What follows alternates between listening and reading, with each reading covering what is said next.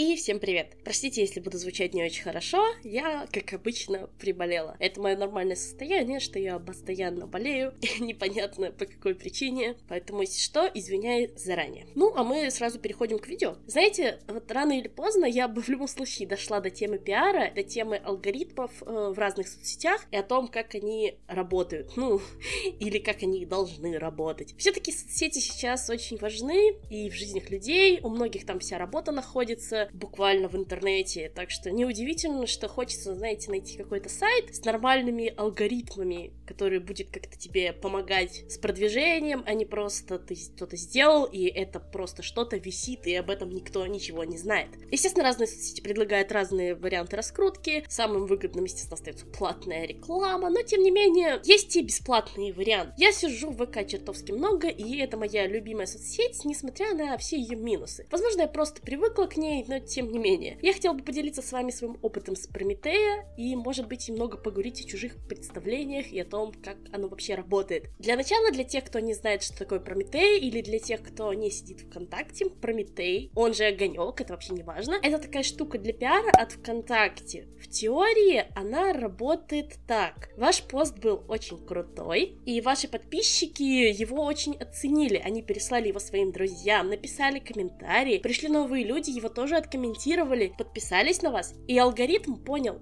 то, что поняли все эти люди. Пост действительно классный, а значит его надо пропиарить и показать большему количеству людей. Он закидывает этот пост, либо же целиком всю группу, тут как повезет, в глобальные рекомендации. У вас растут просмотры, соответственно, подписчики и лайки. Также среди плюсов Прометей может получить даже самая маленькая группа, где-то на 100 человек или даже меньше, но это, конечно же, в теории. Звучит довольно круто, согласитесь согласитесь, просто сделай крутой пост, нарисуй классную картинку, и ты уже популярен, и пару раз получишь этот Прометей, и все, больше ничего делать-то не надо. Но на практике все немножко сложнее. Давайте же разбираться. Начнем с того, что все-таки конкуренция, она есть в любом случае. Алгоритм не может от отметить все посты. Поэтому неудивительно, что большинство людей его не получало. Как получить его, никто не знает. То есть то, что я описала, это примерно то, как он работает. Но как он работает на самом деле, вообще-то никто не знает. Далее у нас самое ужасное. Именно глобальные рекомендации и всякие люди, которые не готовы узреть ваш фури аниме арт. Что же такое глобальные рекомендации? Вот ВКонтакте есть разные темы. Арт, игры, красота, что-то там еще. И когда вы делаете пост, вы помечаете, из какой он категории. И когда ваш пост попадает в глобальные рекомендации, он показывается во всех этих категориях. Условно, есть какой-нибудь у нас дядя Миша за 40 лет. Сидит он в группах по продаже машин, и никого он вообще не трогает, смотрит свои новости, ему ничего не нужно, ему ничего не интересно. Но тут внезапно среди привычных постов с политикой всплывает аниме девочка в бикини. Итак, дядя Миша очень недоволен этой картинкой. И первый вариант. Он добрый и неконфликтный, и поэтому нажимает три точки над постом и просит ему больше подобное не показывать. Нельзя винить человека за то, что ему не понравилась картинка, и он ее скрыл, но, предположим, картинка, ну, прям совсем не для всех. Прометей выбирает рандомно какой-то пост, судя по всему, потому что редко вижу, чтобы он выбирал какие-то, ну, адекватные посты. Очень много художников постоянно жалуются, что он выбирает какие-то левые скетчи с учебы вместо полноценок красивых, над которыми они там старались. И вот это попадает в реки, им это не нравится. И предположительно ваша картинка тоже, ну, не для всех, скажем так еще раз. Но Прометей ее уже отметил. Если таких скрытий будет много, то так можно получить и проблемы на самом деле. Как я уже сказала, вы не можете выбрать пост для Прометея, он его выбирает сам. И, естественно, если это пост, ну, не для всех, он пролетит мимо большинства, потому что его много скроет, ну и он не будет его пиарить. Второй вариант. Дядя Миша у нас очень агрессивный дядя, и он пишет вам свое возмущение в комментариях о том, что он знаком с вашей мамой лично и вообще, что за уродство в его ленте. Ой, к сожалению, это, ребят, не шутка, таких додиков почему-то действительно очень много находится. И мне лично до сих пор непонятно, а зачем они это пишут. Возможно, был тяжелый рабочий день, или что-то такое, или хочется просто гадость сделать. Но я не думаю, что пост в интернете с аниме-девочкой может кому-то настолько сильно подпалить жопу. Но если такое возможно, то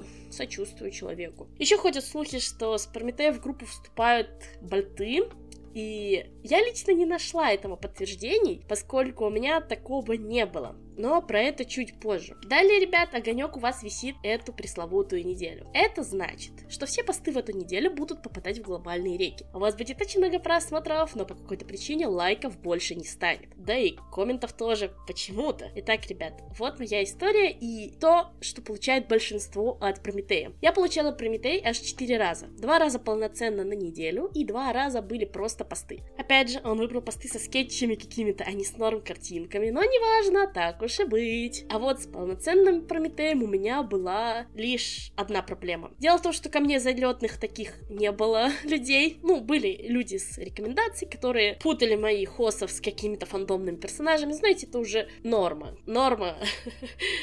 Поэтому я не удивляюсь и даже уже почти не злюсь. Но, тем не менее, на это можно действительно закрыть глаза. А вот то, что мне действительно не понравилось, я описала чуть-чуть ранее. Он мне накинул на 10 тысяч просмотров больше, но в остальном все осталось точно так же. То есть, ну давайте образно, примерно посчитаем. На 10 тысяч просмотров примерно приходится 2000 лайков. Плюс-минус, обычно. Итак, он накидывает мне на 10 тысяч больше, значит их стало 20. Значит, должно быть, ну хотя бы тысячи три или четыре. Ну, по такой логике. Но нет, естественно, осталось такое же количество лайков. Комментарии тоже написали только, ну, подписчики и как бы те же самые люди, что их обычно и пишут. И вы скажете, что это не проблема. Ну, само по себе, конечно, ребят, нет. Но в конце недели ВК присылает вам статистику паблика. Итак, за неделю большого количества просмотров он привыкнет к этим цифрам и уже на следующей неделе сообщит вам, что лох, и просмотры ваши упали, и лайки упали, и вообще в ВК вот все уронил, и вы теперь никому не интересны. А раз вы никому не интересны, то и зачем ваши посты в ленте у подписчиков показывать тогда? Логично же, да? А, звучит как бред, наверное, да, но...